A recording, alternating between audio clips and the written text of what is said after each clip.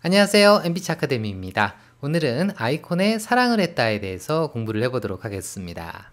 최근에 나온 노래로서 심플한 멜로디가 굉장히 돋보이는 노래가 되겠습니다.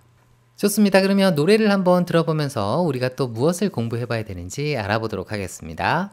사랑을 했다 우리가 만나 지우지 못할 추억이 됐다 볼만한 멜로디 자 지금 제가 잠깐 멈췄는데요 보통 어, 인트로 같은 경우는 반주 패턴이 먼저 나오고 그리고 노래가 나오는 게 일반적입니다.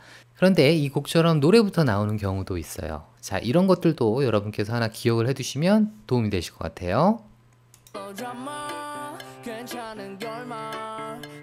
자 그리고 지금 똑똑똑 소리가 나는 게 어, 라틴 퍼커션 계열의 일종인 카우벨이라고 얘기를 하겠는데요.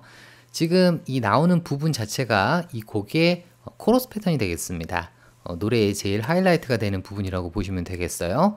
자 그런데 어, 뒷부분에서는 전체의 반주가 다 나오는데 앞부분에서는 코러스가 먼저 나오고 자 그리고 굉장히 심플한 구성 어, 코드 패턴과 그리고 퍼커션 자 이렇게 앞뒤가 대비되게 지금 세팅이 되어 있다는 것도 여러분께서 기억을 해 두시면 도움이 되실 것 같아요.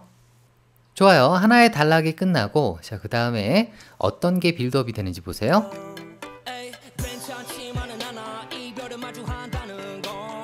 자, 드럼 비트가 나오고요. 자, 그리고 간단하게 기타가 나오고 있음을 또 보실 수가 있게 되겠습니다. 좋습니다. 그 다음 단락을 또 들어보실게요.